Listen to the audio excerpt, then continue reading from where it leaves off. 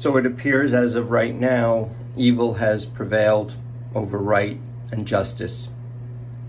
It's difficult to fight a district attorney's office run by Melinda Katz and the domestic violence division and the elder division who are all set on allowing an elderly person, a 90 year old invalid, to be slowly poisoned to death. And I haven't mentioned this, but to top this all off, my mother was also poisoned to death in New Jersey, if you can believe that.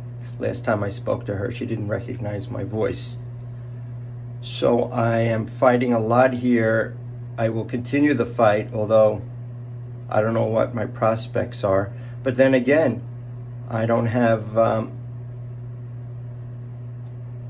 but much choice.